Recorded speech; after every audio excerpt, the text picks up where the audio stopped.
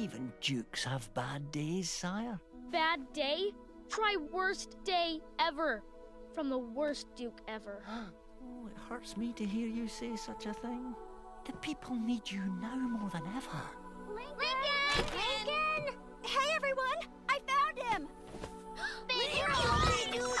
Are you all right? How you doing, buddy? We were worried about you, honey. Yeah, you really bombed out there. Lola! Not funny. Totally uncool, dude. If you'll let me finish. We all blow it sometimes. Even me. We want you to know that we talked about it, and tomorrow we're gonna help you rebuild the town. Really? Aw, you guys are the best. Well, of course they are. They're louds. Do you think the people will forgive me? If there's one thing I know about our people, it's that they don't keep a grudge.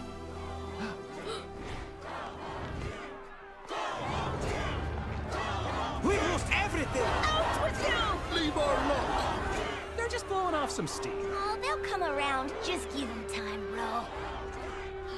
No, they're right. Sire, no. I beg of you. I don't deserve to be the Duke. Can we go home now?